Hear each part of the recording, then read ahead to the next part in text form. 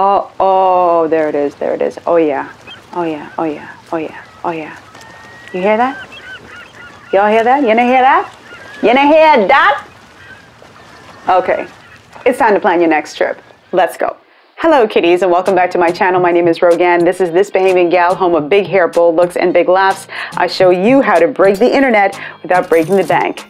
You know, a lot of countries claim to have it all when it comes to romantic getaways, but as a world traveler, I can tell you a lot of countries ain't seeing my country. You ain't seeing the Bahamas. I say you ain't seeing it. If you're looking for natural beauty, incredible beaches, a laid back vibe, and adventure, then these are the places you need to be hitting up in the Bahamas. I'm giving you the best places to visit in the Bahamas for couples. Let's go.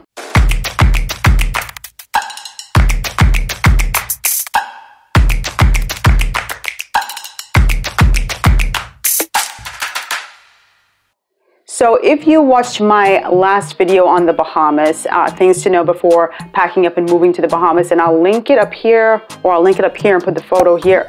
Anyway, just look up here, these two corners. Uh, one of the places that I mentioned was Exuma.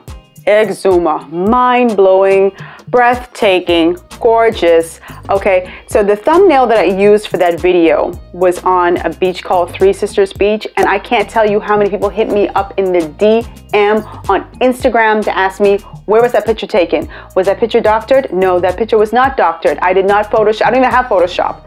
I don't even have Photoshop on my computer, no lie. Um, the water really was that blue. The, the beach really was that white and sandy. Uh, so that is Three Sisters Beach. If you guys are even interested in that place, make sure you go to Exuma. But I've got to talk about Exuma because this is the place you go for a romantic getaway you know, you're with your, your partner and you just want seclusion, you just want to feel like you have your own little private island to yourself. Uh, Exuma has some folks there, but you definitely, it's so, they're so scattered, they're so far out that you really are going to feel like you kind of have the island to yourself, especially if you go to spots that are very secluded.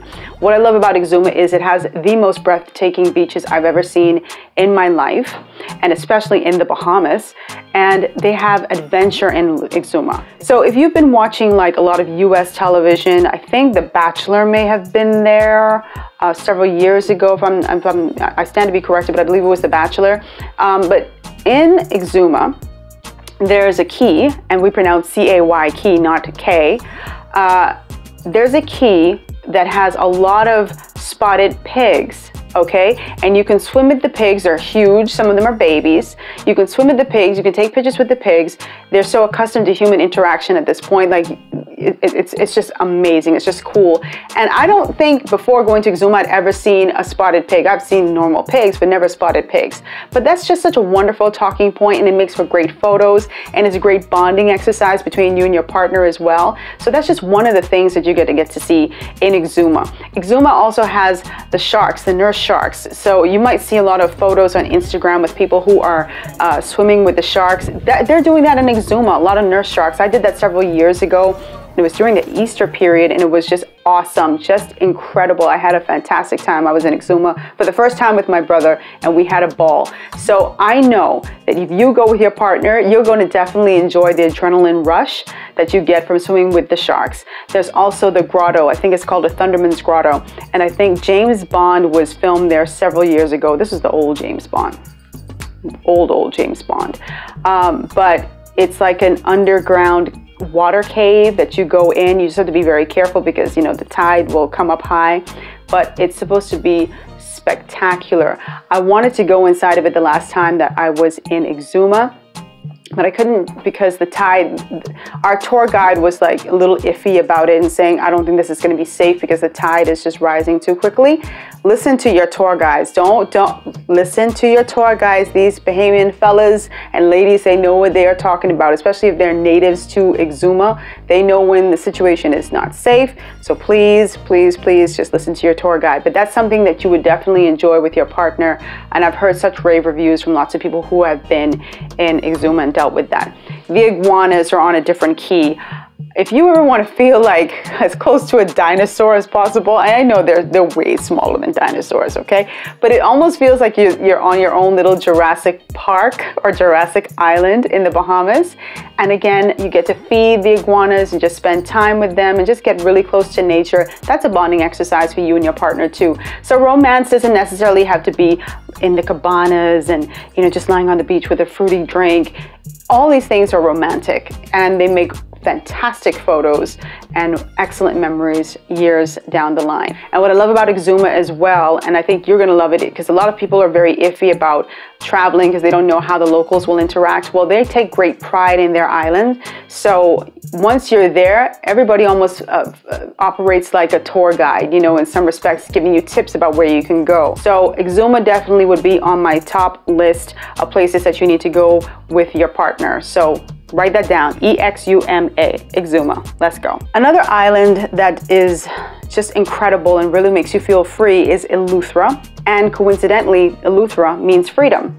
Um, it's known for its pineapples, but it's also known for its gorgeous beaches. And I think that's the closest island for me that, or the island that comes as closest um, in, in, beauty, natural beauty to Exuma.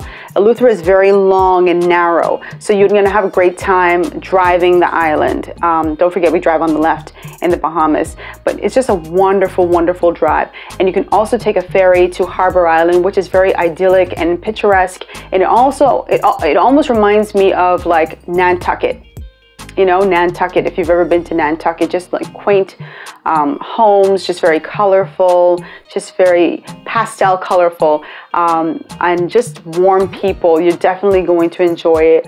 Uh, Eleuthera and Harbor Island. Wonderful food, the most spectacular sunrises and sun sunsets. Um, lots of areas where you can kind of hold hands and just walk and enjoy yourselves. One of my favorite places, I I didn't stay here, but I ate here almost every day was um, it was a restaurant at this uh, hotel called French Leave, and it was just amazing. Just make sure I pack some bug spray.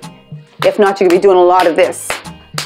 Like you're doing the Macarena or something. I don't know how you do the Macarena anymore, but you're gonna be doing a lot of that because they got a lot of mosquitoes in Eleuthera. I am not lying. Be sure to take a trip on the glass window bridge once you're in Eleuthera and the Queen's Bath I say no more. Glass window bridge in the Queen's Bath. I say no more. That's romantic. It's beautiful, especially if the sun is setting. You're just going, to, you will always remember your time there. I promise you. I promise you. I promise you. Nassau gets a bad rap. I'm from Nassau. I represent Nassau all day, every day, and I love my I love my island. Okay, you know, I love my island. Um, but I think sometimes we don't understand how beautiful the island is, especially the western tip of the island.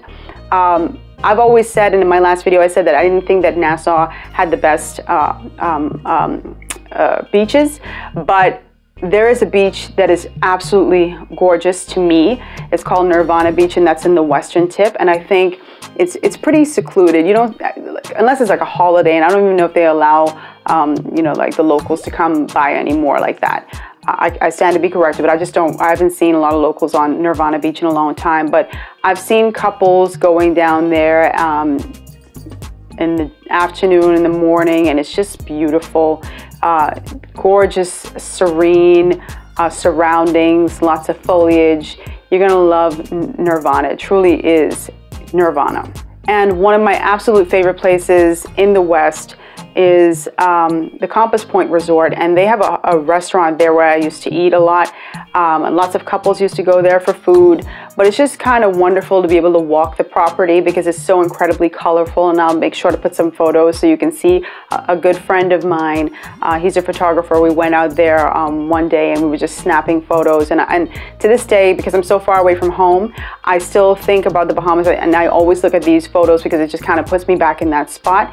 But I think as a couple, and they have bungalows there, if they're still open, um, they have bungalows that you can rent um, and stay for a couple days. It's just beautiful because the water is just pure and turquoise and, and sapphire. It looks like sapphires. It's just really, really beautiful out there and lots of color. So if you're really looking for that island life, and you're with your partner and you just want to feel like you're really far away from it all, you might want to go and stay at Compass Point Resort if they're open. Now, this island truly is luxury. It's very luxe, it's very glamorous, and it usually just gets lumped with New Providence, with Nassau, but I think it really even to this day, it still blows my mind. It's Paradise Island, and it truly is paradise.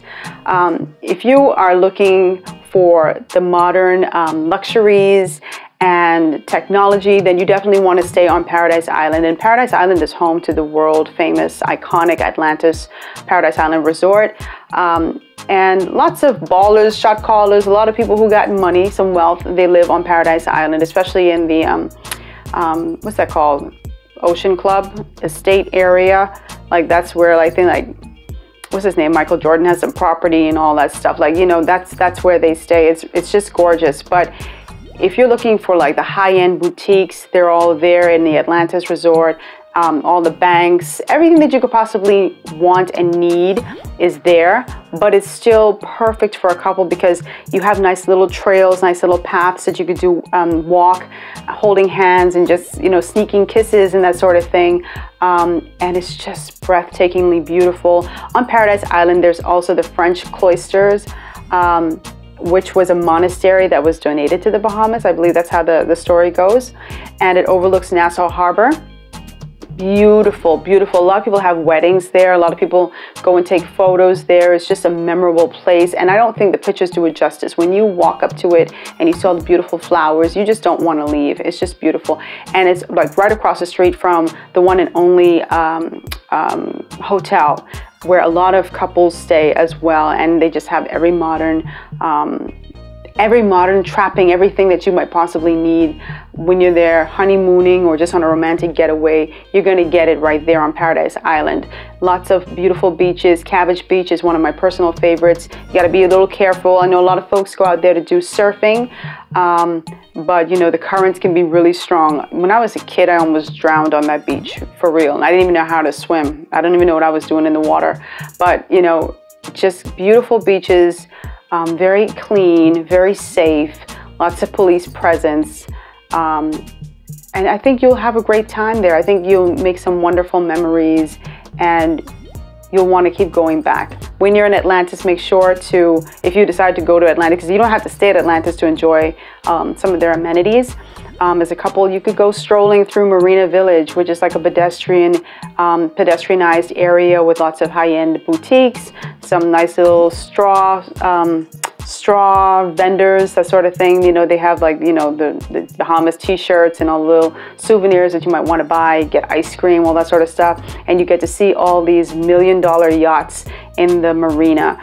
It's, it's romantic. It's beautiful. The weather is great. You're just going to go nuts. So definitely check out those four spots, Exuma, Eleuthera, the western tip of New Providence, um, and of which is Nassau, and of course Paradise Island. And I promise you, I know you guys have heard about those places and you may have visited one of those spots, but let me tell you, there's so many other islands in the Bahamas that you can you can definitely take advantage of that are, are worthy of being on this list, but I don't want to keep this video too long. So we're definitely going to start there. Pack your bags.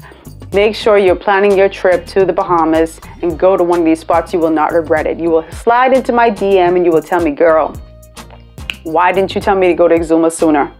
okay? I promise you. Well, that's going to do it for this week, guys. Thanks so much for tuning in. I really appreciate it. Don't forget to hit that like button. I want the big thumbs up. And don't forget to leave comments down below. Thank you so much for always engaging with me, not only here on YouTube, but of course on Instagram. You guys always reach out, and I so truly appreciate it. Thank you so much for that. Be sure to explore other videos that I have on this platform. I have lots of videos from about a year ago, like go back into my old stuff. I'm sure you're going to find something that you enjoy. I know the guys aren't particularly interested in like the makeup tutorials, but there's so many other things, so many skits that you guys might enjoy. Um, uh, be sure to click the link and watch one of my latest skits. Uh, and of course, follow me on Instagram and Facebook at This Bahamian Gal and on my blog, www.thisbahamiangal.com. Thank you so much. And I'll see you again next Wednesday, every Wednesday at 1 o'clock Eastern Standard Time, right here on This Bahamian Gal. I love you guys. Mwah. I'll see you next time. Bye.